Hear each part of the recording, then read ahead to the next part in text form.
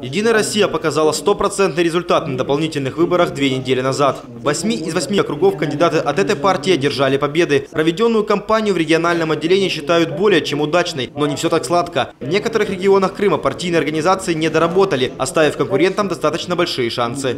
Там, где есть нормальная партийная, сильная партийная организация, там проще проводить выборы. А там, где есть проблемы с партийным строительством, есть проблемы с парторганизацией, там и выборы проводить намного, намного сложнее. И это отражается в том числе и на ходе избирательной кампании, и ее результате.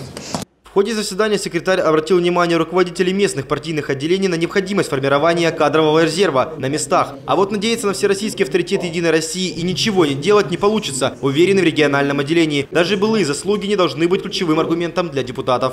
Настроение избирателей кардинально изменилось от годичной давности. В первую очередь, людей совершенно не интересует Украина, все, что с ней связано. Люди равнодушны к этому и уже совершенно заняты совершенно другим проблемам.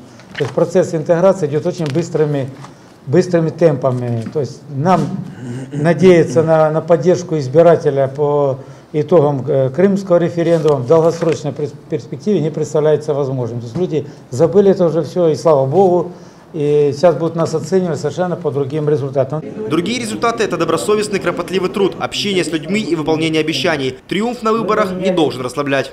Четыре года пролетят, через четыре года вам достанут список, друзья мои, вот так, все, что обещали, начнут задавать вам по списку вопросы. Если в этом списке вы сможете ответить только на 10% вопросов, вам пожмут избиратели руку, скажут, все, ищите, так сказать, себе другое место работы, друзья мои, а депутатами будем выбирать других. Сергей Аксенов добавил, весь список обещаний должен быть выполнен перед крепчанами. Решать вопросы нужно совместно с исполнительной властью. Трудиться, засучив рукава и погрузиться в рабочий процесс. Иначе доверие к партии в республике будет подорвано. Александр Василевский, Александр Смычек. Время новостей.